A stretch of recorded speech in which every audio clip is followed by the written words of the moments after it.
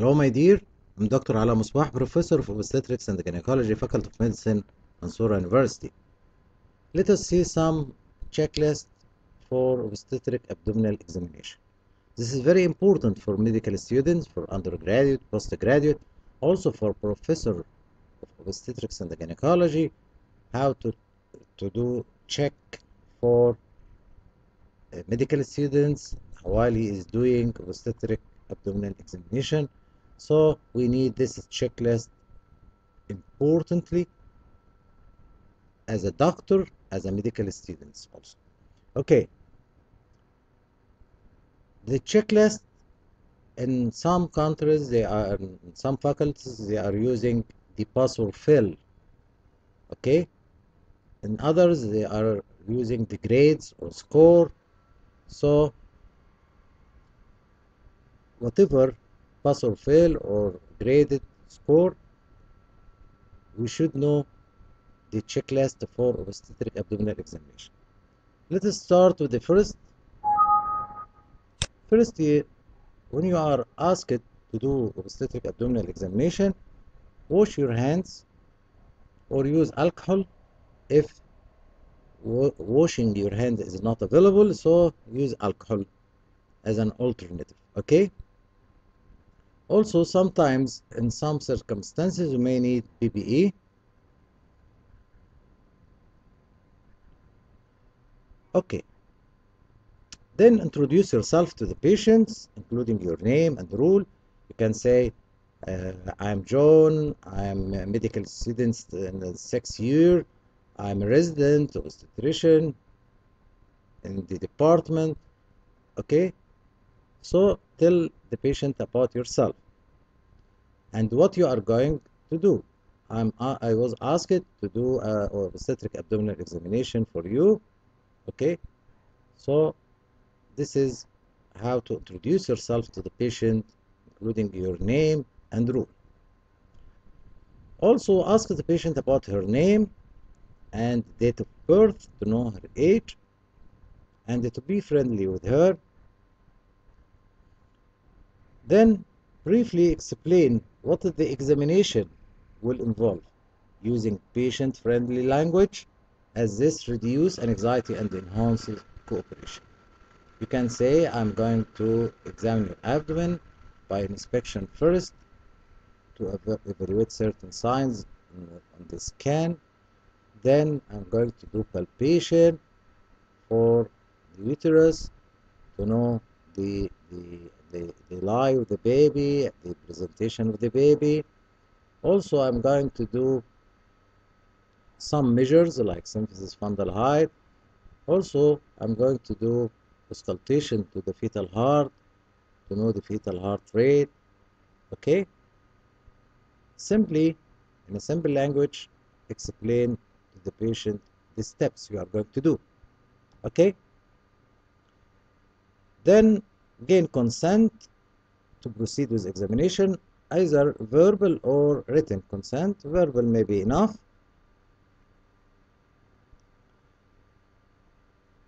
Then provide the patient with the opportunity to pass urine before the examination. Prepare equipments that you may need. You may need measuring tape, Pinard stethoscope, or handheld Doppler, ultrasound, Sonicaid, whatever. So prepare your equipments before you are doing the examination. Then position the patient supine on the clinical examination couch with the head of the bed raised to 15 degree. And it's better to put a small pillow on her right side. Okay? Okay. What else? Provision of privacy. Very important, really. A curtain in examination room is important. Please respect the privacy of the patient, confidentiality and dignity. Okay? And patient is entitled to have chaperone. Chaperone may be formal or informal. Somebody accompany company here. Maybe also another uh, one from medical staff like nursing staff. Okay? Then adequately expose the patient abdomen for the examination. From the pubic symphysis to the xiphisternum okay? And you should offer a blanket to allow exposure only when required okay? So for abdominal examination we need to expose from xiphisternum to pubic symphysis. Then ask the patient if she has any pain before proceeding with the clinical examination. What is the site of pain? What is the type of pain? Okay? Position the patient appropriately for abdominal inspection and stand on the right side of the patient. Inspect the abdomen closely to see what? To see the shape of the abdomen. Diffusely enlarged, longitudinal diameter is bigger than the transverse diameter, as in longitudinal lie, or maybe the transverse diameter is longer than longitudinal diameter the abdomen is ovoid or round shape okay the flanks are full or not? Is there any scar or previous operation like cesarean section lower transverse scar? And you should describe the scar as regard the site of the scar. How long? 10 centimeter 7 centimeter and so on. Scar for cesarean is lower transverse one or scar for laparoscopy for example one at the umbilical region and another two ports two iliac fossa sorry in two iliac region. So you should describe the scar as regards the site the size the diameter of the scar the uh, is there any pigmentation? Is there is keloid healed by primary intention or secondary intention? So this is very important. Also any pigmentation like linea nigra striae rubra alba any visible mass any dilated vein what about the umbilicus? Shifted upward centralized shifted downward of course we expecting that the pregnant uterus is a pelvic abdominal so umbilicus will be shifted upward. Is the umbilicus is inverted flat or reverted? Is there is any hernia?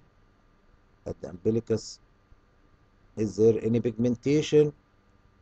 Discharge inflammation scar okay?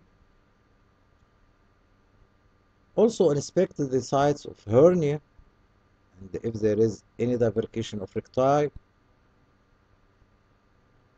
all these items in inspection of the abdomen. Then palpate the nine region of the abdomen for tenderness or masses. Gently try to palpate the nine area of the abdomen with the palmar surface of the hand or fingers.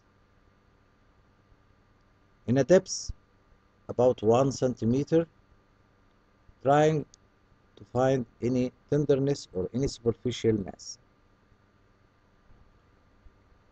Of course, with advanced pregnancy, palpation of the abdominal organ by deep palpation is difficult. Then you are going to do obstetric examination, palpate the fundal level by the ulnar border of the left hand while the right hand do centralization to the uterus. Until you find the resistance of the fundus then do a mark at this side. Then by tab measure try to measure the symphysis fundal height. Okay symphysial fundal height by tab measure. And to put the tab the the graded one towards the abdomen so you cannot see the grades okay? Why? To avoid bias. Until you measure, then expose to see how centimeter. Of course, after 24 weeks, symphysis fundal height equal to gestational age in weeks plus or minus 2 okay 2 centimeter or 2 weeks okay plus or minus 2 okay? Okay. Then do fundal grab by both hands trying to palpate which part of the fetus in the fundus. By the palmar surface also of each hand gently try to feel the fetal part occupying the fundus. Then do umbilical grab or lateral grip to define the back of the baby is the back to the right or to the left anterior or posterior or transverse okay then do first pelvic grip with one hand with outstretched hand over the lower uterine segment just above the symphysis pubis. Try to feel which fetal pole occupying the lower uterine segment. If it, if it is cephalic or breech, and if it is cephalic, it will be hard, round, tender, sometimes ballotable, okay, smooth, while if it is breech, it will be irregular, soft, not tender, not ballotable. Okay, then do the second pelvic grip. The second pelvic grip using two hands applied on the lower abdomen. Try to palpate the abdomen inward, forward, and medially, trying to feel the sinciput and the occiput. What is the aim? The aim is to define the fetal head attitude. If the sinciput and the occiput at the same level, the head is deflexed. If the sinciput is higher, the head is flexed. If the sinciput is lower, the head is extended. Okay? First pelvic grip and second pelvic grip also called Pawlik grip. Okay? And from the pelvic grips, also first and second pelvic grip, you can define if the head is engaged or not using rule of fifths to evaluate engagement of the head. One finger equal to 2 centimeter above the symphysis equal to 1 fifth of the head. So if I feel 2 fifths of the head or less, the head is engaged. If 3 fifths or more, the head is not engaged during abdominal examination. How can I measure? By applying finger breadths above the symphysis. If two finger, this is two fifths. If three finger, this is three fifths. Okay? So, if only two fifths of the head or less is felt abdominally, the head is engaged. Okay? Then go to the next point to listen to the fetal heartbeat using the available methods like Pinard stethoscope or Doppler ultrasound Sonicaid. Okay? And don't forget to palpate the maternal pulse, maternal radial pulse at the same time. So not to be confused with the maternal pulse as if it is the fetal heartbeat. Okay? Of course, we know the difference. The baby normal fetal heart rate between 110 up to 160 while the maternal pulse from 60 to 90 per minute. So of course there is a big difference. So if you did palpation of the maternal pulse while you are listening to the fetal heart beat by Pinard stethoscope you will find the difference. Okay? Don't miss this point then explain to the patient that the examination is now finished and tell her simply the finding and answer any question raised by her. Thank the patient for her time and for being cooperative, then wash your hand, then summarize your finding.